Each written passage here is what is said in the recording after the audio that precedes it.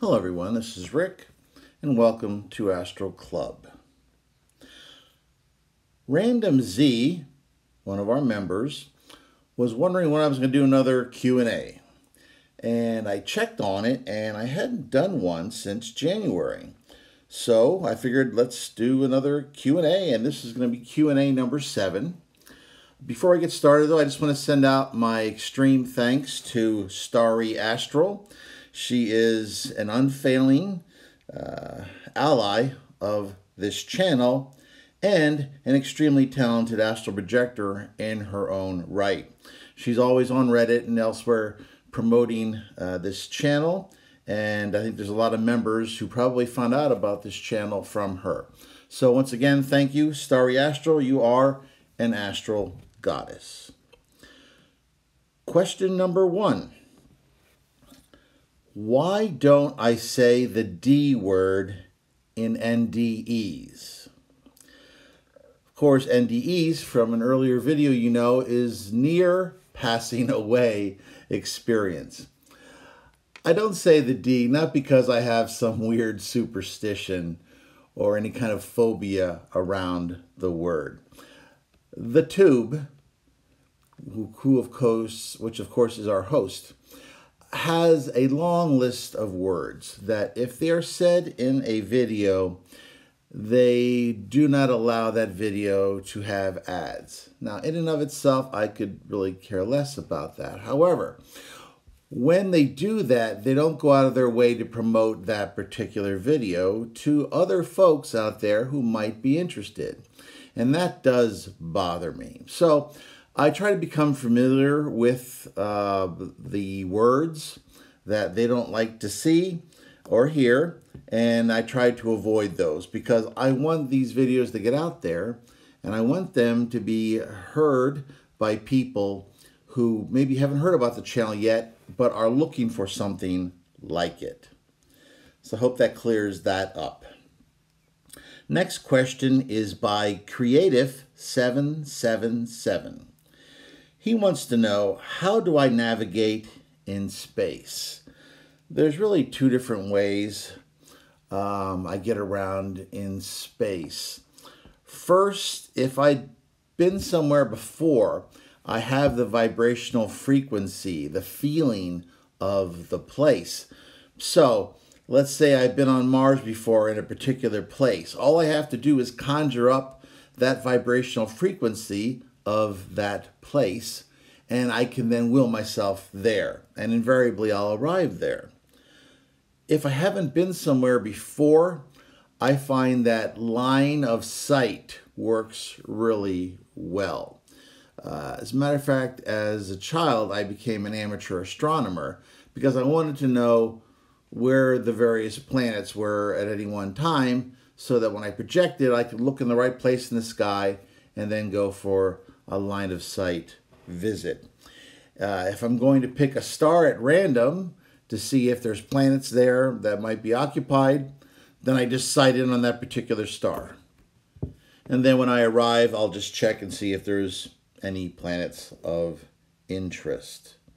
Uh, funny enough, I recall when I was a kid, there was there were astronomers who were wondering whether planets were common around stars or or whether they were rare or uh, and uh, I remember thinking to myself, boy, I could really answer that question for him because I've seen a lot of planets around a lot of stars. But unfortunately, I was a kid, and also they would have asked, How do I know? And I'm pretty sure they wouldn't have been happy with my explanation.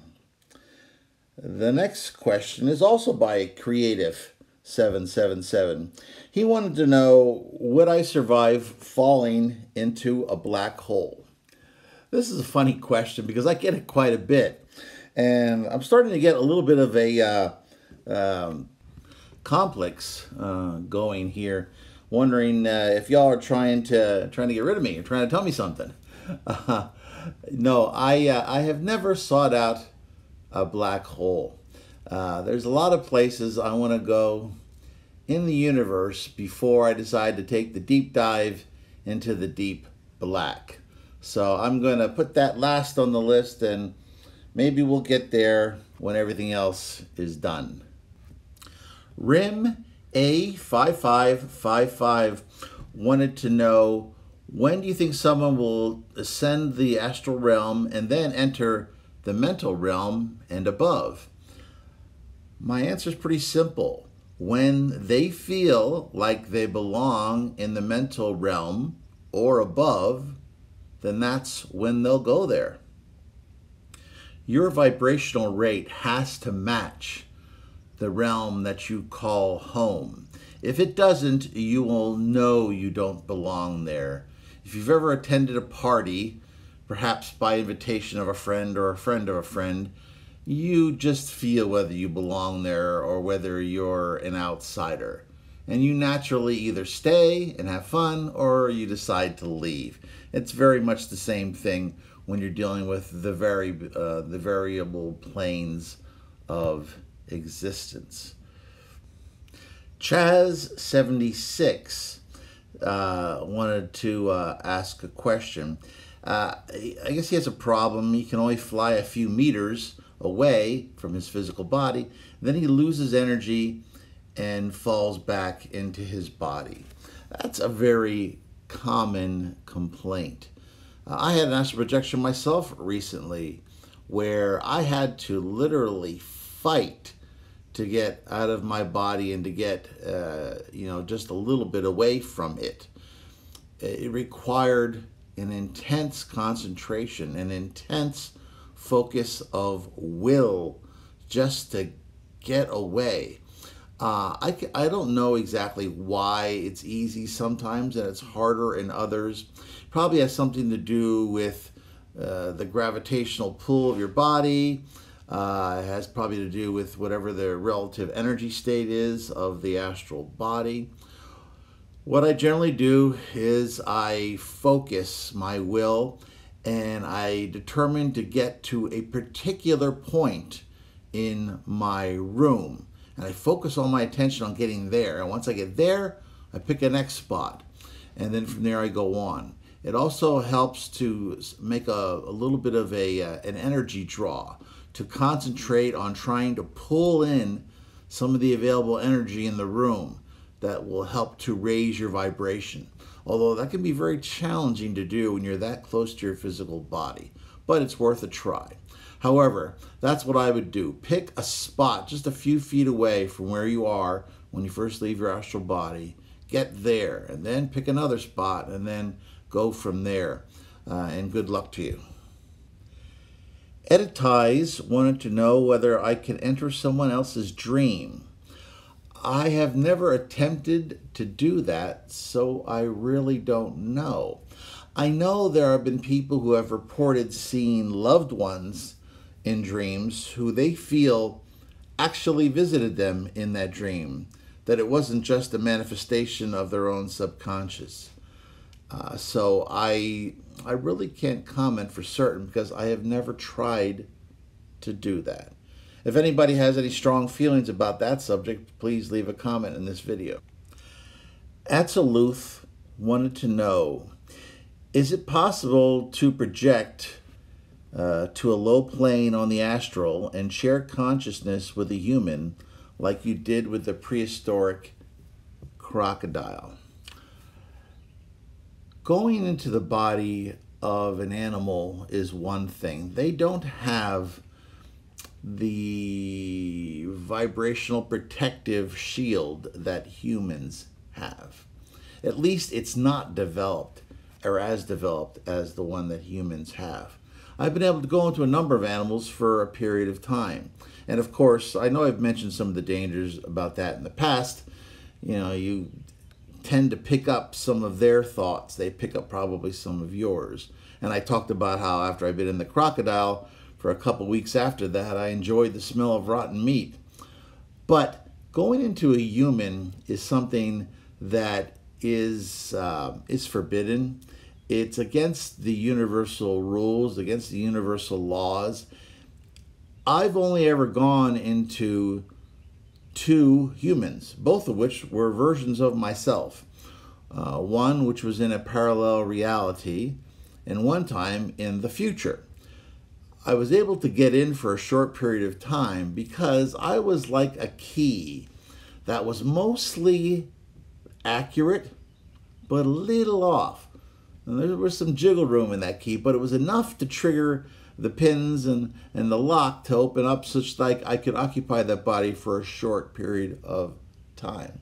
But even occupying my own future or parallel bodies, there was a electrical field that gradually grew and grew um, and became more and more uncomfortable, even for me, being within that body, such that I was expelled from it pretty quickly after the little experiences that I had. I've never attempted to actually try to occupy or possess, if I should use, or if I can use that particular emotionally laden term, the body of another human. And I would recommend that you avoid even trying, because as I said, that's one of those universal laws that probably isn't a good idea to try to break. Member TM wanted to know whether I could make or whether anyone can manifest objects on the astral plane. Much like the physical, if you put work into creation of something here on the physical, you can make it happen. On the astral, it's very much the same, although it's quite a bit quicker. You need to put energy and thought and will into the creation of an object that you wish to make um, come into an astral reality. It does require thought, it does require energy, and it can drain you a bit, but you can do it. So the answer is yes.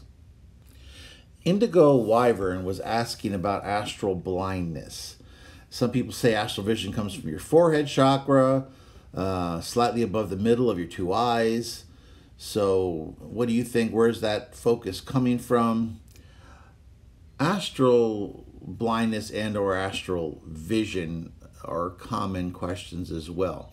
Many people wonder why when they first leave their body they can't see or their vision is just black and gray. Um, in the Matrix, uh, when they were first operating on Neo after he'd been taken out of the Matrix, he woke up on the operating table and he said that what was wrong with his vision? It was really blurry. And um, his uh, boss said that, uh, well, you haven't used your eyes before. That's why they're not working properly.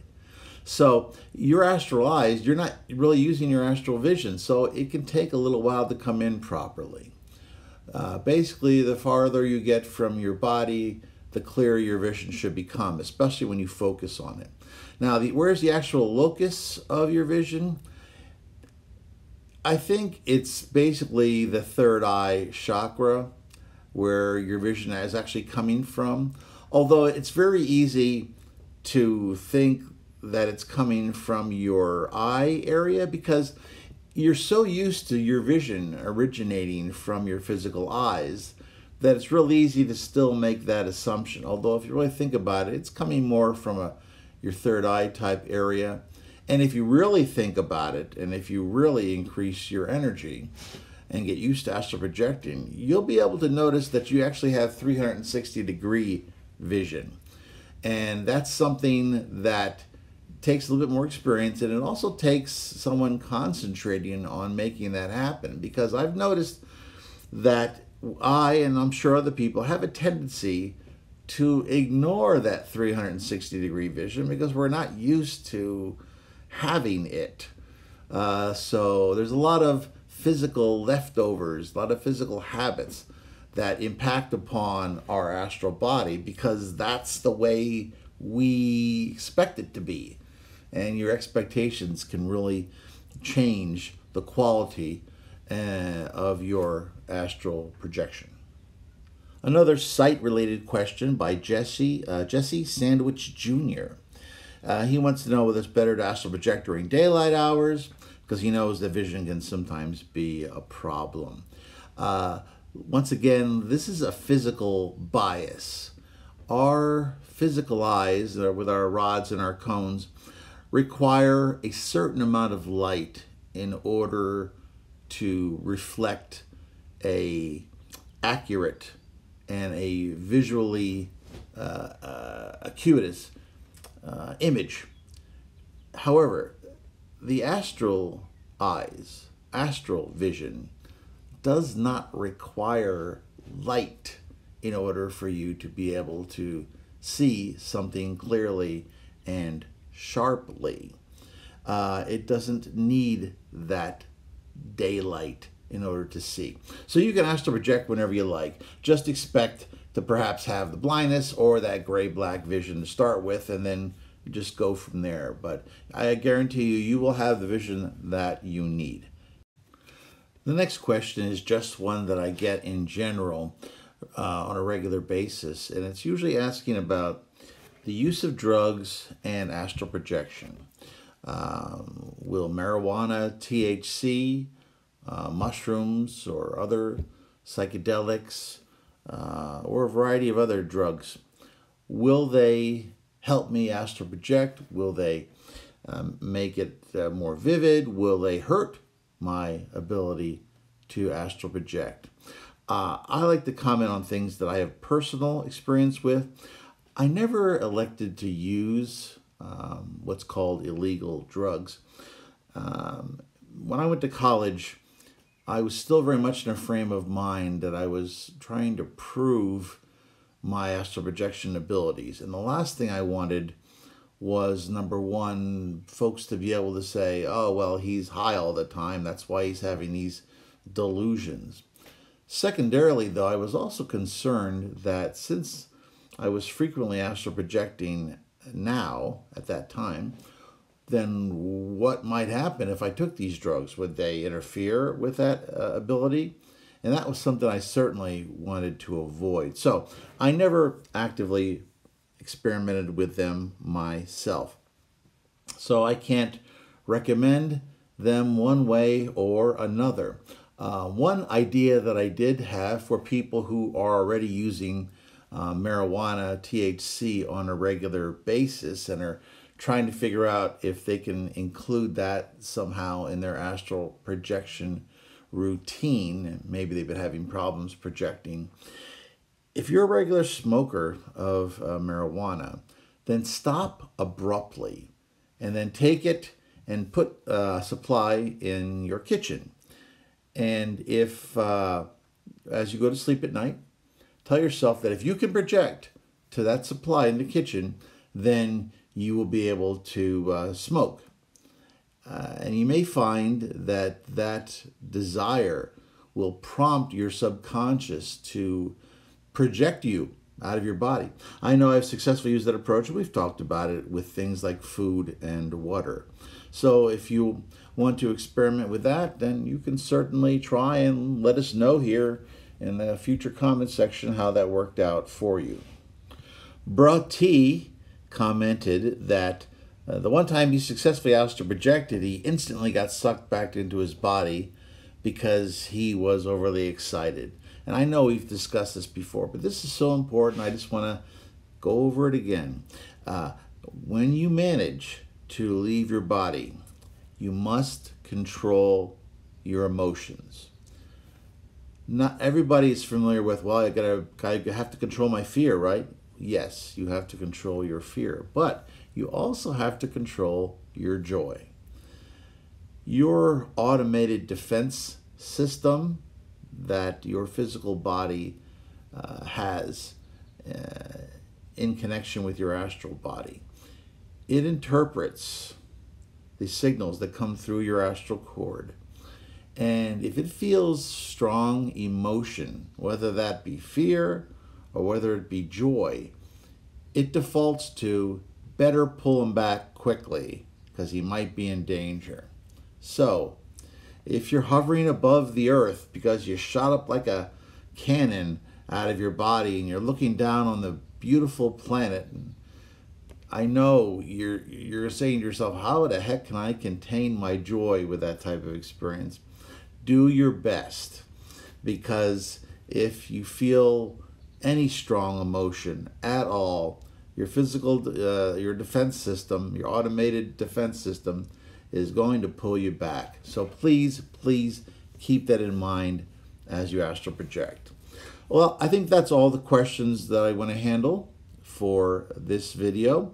Um, we're probably going to do another Q&A, a Q&A rather, uh, again in the near future because I've got a lot more to go over because we just let it go way too long.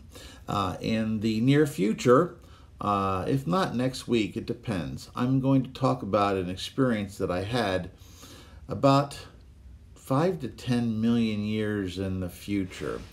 I'm not exactly sure. Uh, however, I went and I experienced and saw what was going on in the earth at that point in time and met a very interesting life form that uh, I think you'll be interested to hear about. Well, everyone, uh, I want to thank you. I want to thank all the new members who have come aboard. The channel is growing, and I have uh, everyone listening here to thank for it. If you like this video, please hit the like button, share it with those of like minds. Uh, subscribe if you haven't done so already. It's free, why not? If you have subscribed, then hit that bell button and you'll get notifications whenever I post a new video. And if you have any questions or comments, please leave them. Uh, as you know, I try to answer them. I read them all. And uh, who knows, they might be in a future Q&A session. I'm Rick, and as always, I will see you on the astral plane.